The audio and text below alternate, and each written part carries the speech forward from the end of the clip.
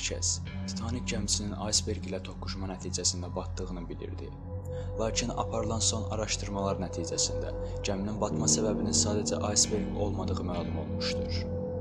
Belfast şəhərində gəminin batan zaman çəkilən şəkilləri araşdırılarkən Titanikin üzərində qara ləkələr olduğu müəyyən edilib.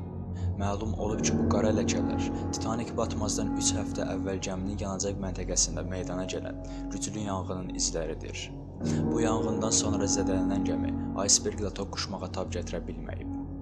Həmin dövrdə gəmidə baş verən yanğın hamıdan gizli saxlanılıb. Səbəbi isə insanların qorxu hissinə qapılmamasıdır.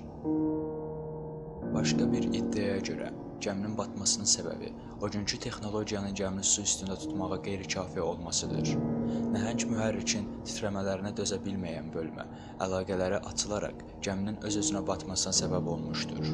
Bunu öyrənən White Star dənizçilik şirkəti gələcək reaksiyaların və vermək məcburiyyətində olacaqlar təzminatın böyüklüyündən qorxaraq iceberg nağılını uydurmuşdur. Titanic 1912-ci il aprel ayında qəzaya uğrayaraq batıb. Ən son məlumatlara görə qəza nəticəsində 1653 nəfər dünyasını dəyişib, 700 nəfər isə xilas ola bilib.